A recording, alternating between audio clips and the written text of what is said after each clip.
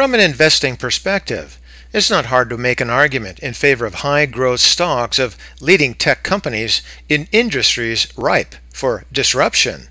These are the kind of companies that ARK invests in, and that is ARK as in ARKK, the ETF fund run by Cathie Wood.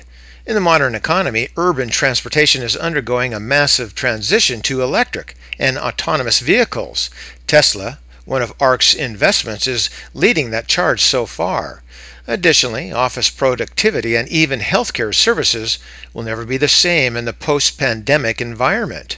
In that sector, Cathie Wood has invested in the likes of Zoom and Teladoc. And with the decline of about 57% from its high reached in February 2021, why not invest in an ETF like ARK? Well, similar to what happened during the dot com crisis, the formation and the bursting of market bubbles can trick investors into buying dips too early. This can expose an investor to massive losses. Right now, maybe a bit early to invest in ARK, but the time will come. So, let's take a look.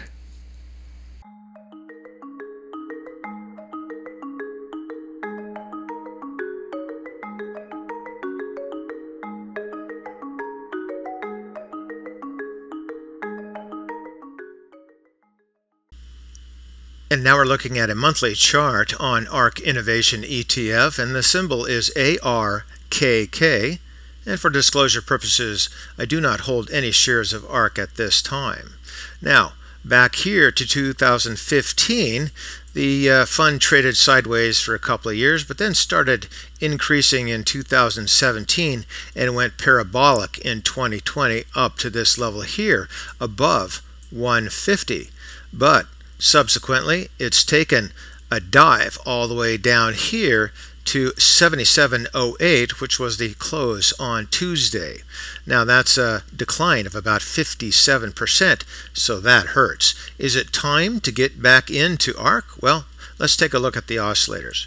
First, volume. You can definitely see heavy selling in the previous two months. That was very heavy, very bad if you were in ARK. Now, Moving here into the MACD, you can see that it topped, the fast line topped about here in early 2021, started to erode, came down, and then the fast line crossed through the slow line there in mid 2021. By that time, hopefully you were out, but it's not time to buy, at least as showed by the MAC. We still have a pretty good uh, separation between the fast line there and the slow line here. And that separation means there's still volatility, perhaps sideways trading, and perhaps even some more downside. The possibility of upside, I think, is limited, at least at this point. Now, into the histogram, you see pretty much the same thing. Uh, difficult ride all the way down here. We don't see any real sign of bottoming or basing yet. Into the price, rate of change, pretty much the same thing with the fast line plunging through that zero line. The slow line's on its way down. Again, big separation, meaning still more volatility or sideways trading. That's the greatest probability.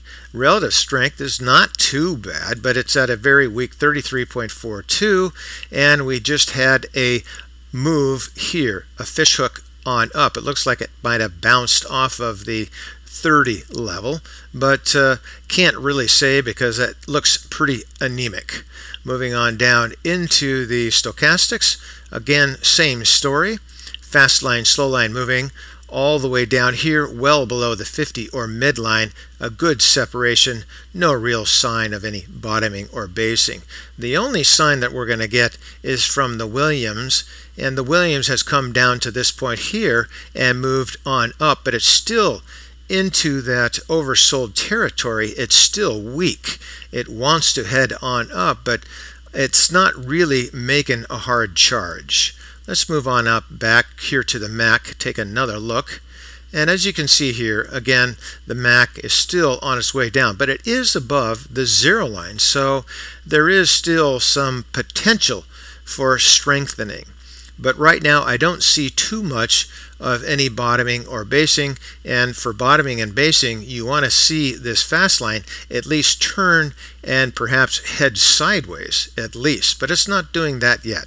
So I think there's still more time that you need to have uh, pass before you get interested in buying into ARK.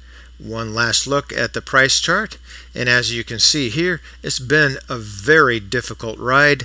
Let's just see some congestion build up down here in the bottom, and maybe that will be a sign of some basing. But until then, I'm on the sidelines. And for today, that's Chew Dog Charts. Thank you.